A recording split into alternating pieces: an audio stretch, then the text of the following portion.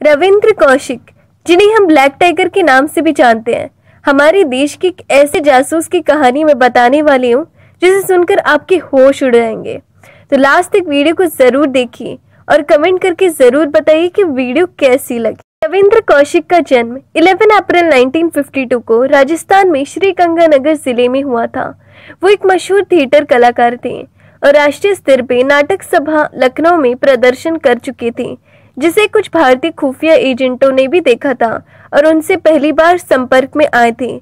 उन्हें खुफिया एजेंट की नौकरी का प्रस्ताव इसी पर रखा गया था।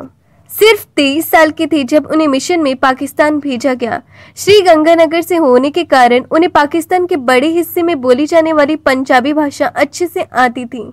मिशन में जाने से पहले उन्हें इस्लाम की धार्मिक शिक्षा दी गई और उर्दू भी पढ़ाई गई। उन्हें 1975 में पाकिस्तान भेज दिया गया और उनका नाम नाबी अहमद शकीर रख दिया गया।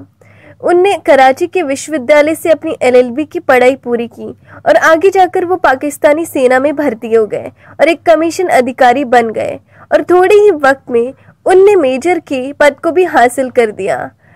उनने एक स्थानीय लड़की अमानत से भी शादी कर ली और वहाँ पर लगभग बस गए थे।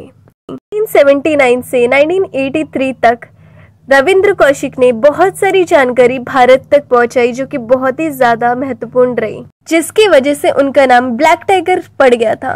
1983 में रविंद्र के साथ संपर्क करने के लिए एक एजेंट इनायत मसीहा को भेजा गया, पर इस एजेंट को पाकिस्तान की खुफिया एजेंसी ने पकड़ लिया और रविंद्र कौशिक के बारे में अब उनको सब कुछ पता चल चुका था।